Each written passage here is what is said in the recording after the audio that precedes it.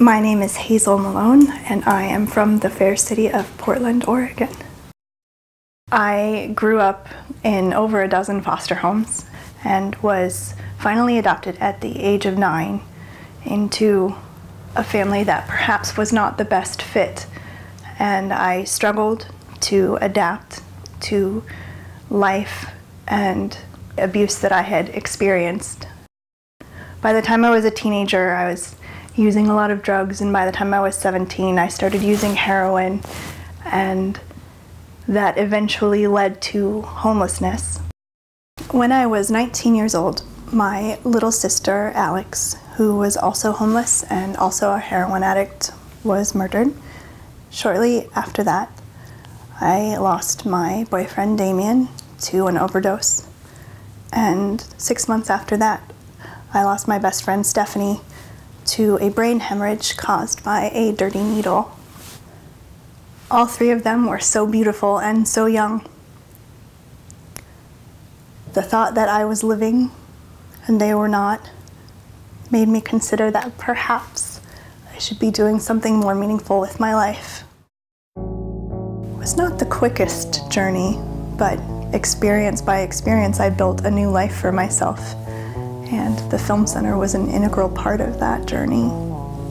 In 2000, I was very excited to do a project uh, with students at New Avenues for Youth. These were kids that were either currently homeless or formerly homeless, and the goal of the project was to make a 10-minute video based on their life experiences. What really impressed me about Hazel was the fact that she could be driven but also be caring and I was really impressed with the way the other students responded to her. Her leadership abilities uh, are uh, considerable, and it was really like having a co-teacher. The film that we all chose to make was based on an idea that I had, which was a story about a girl and her experience with homelessness. It was almost a form of art therapy, and it really helped me just to be in touch with what had happened instead of escaping from it.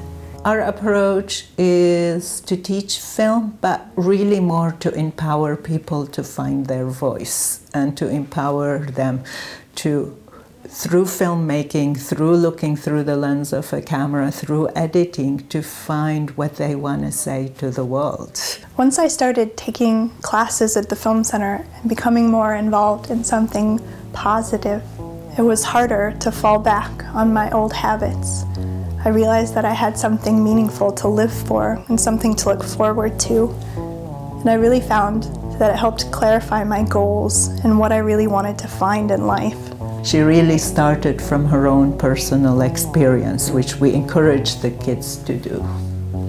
The Film Center exposed me to so many artists and filmmakers who I'd never heard of before and who have come to be such an inspiration to the work that I do. Local artists like Shel White and Joanna Priestley, animators like Ladislaus Starevich and Jan Svankmajer, the works of Akira Kurosawa. How did I live so long without them?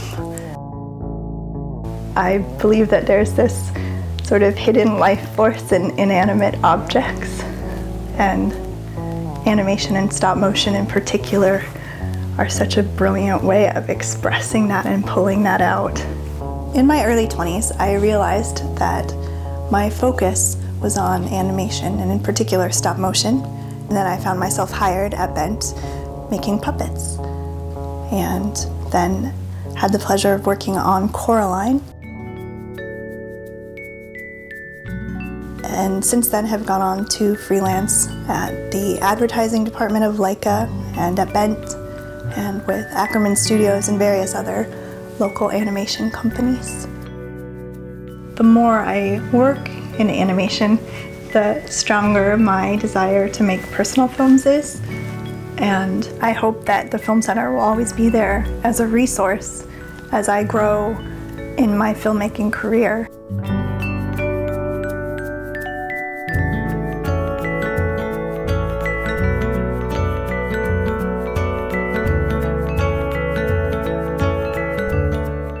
During the making of Coraline, every day I would get in the shuttle and drive out to Hillsboro. And every day I would pass my squat where I used to sleep under the freeway overpass. I have a convoluted understanding of string theory, which allows me to believe that my present self can talk to my past self and vice versa.